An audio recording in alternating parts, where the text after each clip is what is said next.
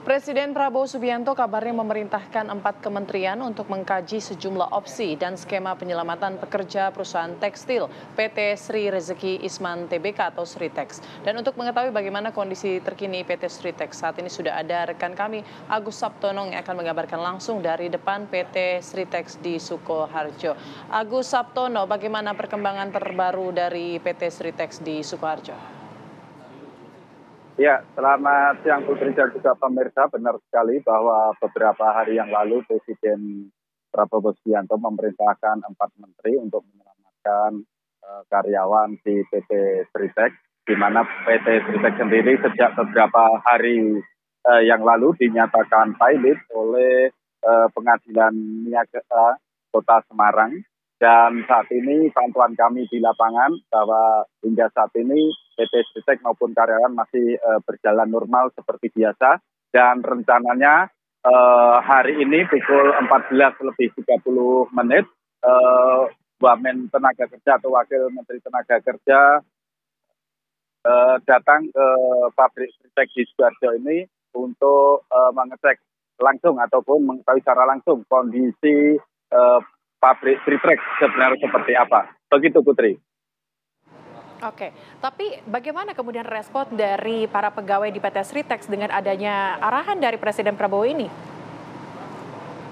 Uh, tadi saya sempat berbincang-bincang dengan salah satu karyawan, uh, yaitu mendapatkan respon dari Presiden untuk turut uh, memerintahkan empat menterinya ini uh, para karyawan uh, merasa agak lega walaupun masih wafat uh, kalau terkena PHK. Namun setelah ada uh, kebijakan ataupun penge, uh, pengertian dari presiden uh, para karyawan ini uh, juga sudah agak bernapas lega. Begitu Putri.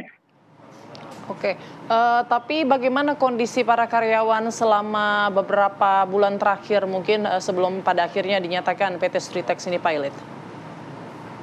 Iya, uh, tadi juga sempat uh, seperti saya kemukakan di awal, saya juga uh, menanyakan langsung kepada salah satu karyawan bahwa mengetahui uh, kabar pilot oleh PT Sritex, uh, pihak karyawan merasa wafat apabila terkena uh, eh, PHK ataupun pemutusan hubungan kerja di PT Sristek ini. Begitu Putri. Oke, tadi diinformasikan di pukul 2 nanti akan hadir mungkin wamen ataupun menteri dari ketenaga kerjaan. Agenda khusus apa yang akan dilakukan menteri ataupun wakil menteri nantinya? Ya, uh, agenda yang uh, saya ketahui bahwa tadi sebelum ke sini wamen juga mengadakan pertemuan di Dinas Tenaga Kerja Kabupaten Sidoarjo dan rencananya ini pukul 14 lebih 30 menit ini uh, datang ke PT Stek untuk mengadakan ataupun mengetahui secara pasti uh, berbicara dengan pihak manajemen untuk mengetahui secara pasti kondisi PT Stek sendiri seperti apa. Begitu Putri.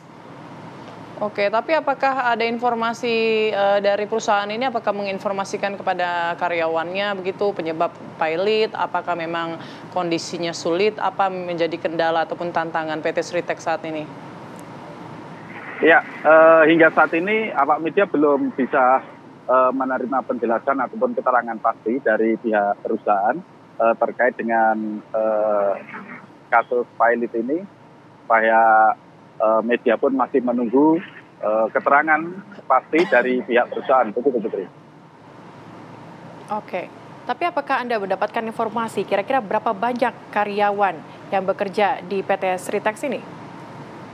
Ya, uh, seperti saya ketahui bahwa uh, di PT Sritex ini ada beberapa anak perusahaan uh, ini hmm. yang tergabung dalam Supedut uh, mencapai puluhan ribu karyawan yang uh, bekerja di PT Sritek ini. Oke. Okay. Baik. Terima kasih banyak informasinya Agus Sabtono mengabarkan langsung dari Sukoharjo, Jawa Tengah.